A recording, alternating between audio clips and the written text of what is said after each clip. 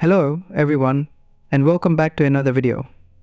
In today's tutorial, I'll be showing you how to create a smooth and dynamic line map animation in CapCut.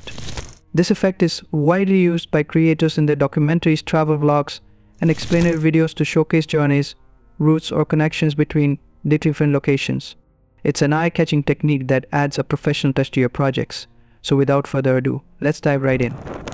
First go ahead and open CapCut. To begin, you'll need to import a map image. You can easily find a variety of maps online through quick search on Google, or you can explore dedicated websites that offer high quality maps. One of my personal recommendations is Freepik, a fantastic resource that's completely free and very useful for creators.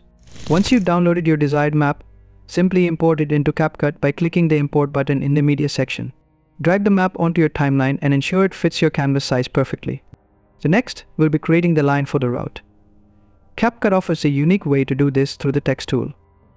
Head over to the text panel and create a new text layer by clicking on the text button. Now, instead of typing words, you will want to create a sequence of dashes. This will act as the line that will animate later. You can make the dash line as long as you need depending on the distance you want to cover on your map. While this is technically a text layer, we're going to make it look like a solid line by modifying the font style.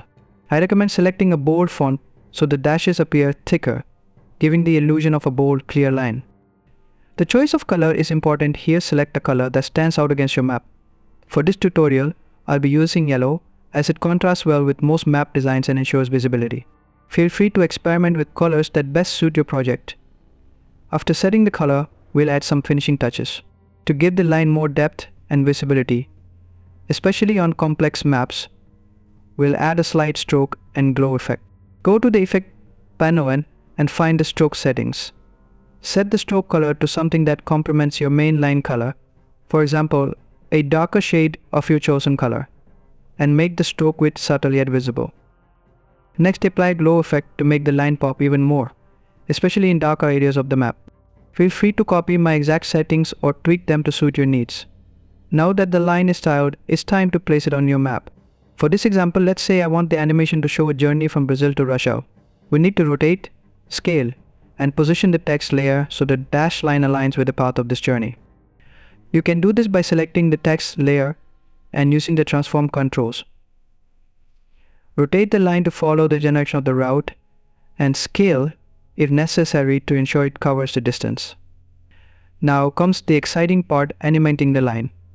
CapCut makes this simple with its built-in text animation tools.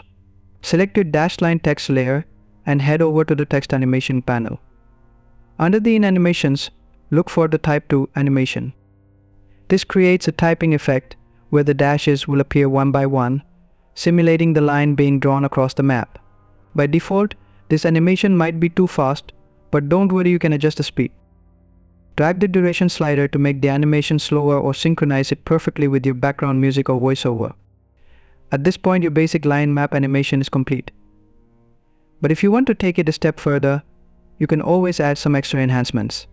For example, consider applying motion blur to make the animation smoother or adding small markers or icons at the start and endpoints to emphasize locations. You could even add sound effects to enhance the viewer's experience, like a subtle whoosh or ping when the line reaches its destination. And that's it. You've just created a professional looking line map animation in CapCut. This technique is versatile and can be customized in countless ways to fit your video style, whether you're making travel content, educational videos, or even a narrative documentary. I hope you found this tutorial helpful. If you did, please give the video a thumbs up, subscribe for more tutorials, and don't forget to hit that notification bell so you never miss an update. Thanks for watching, and I'll see you in the next video.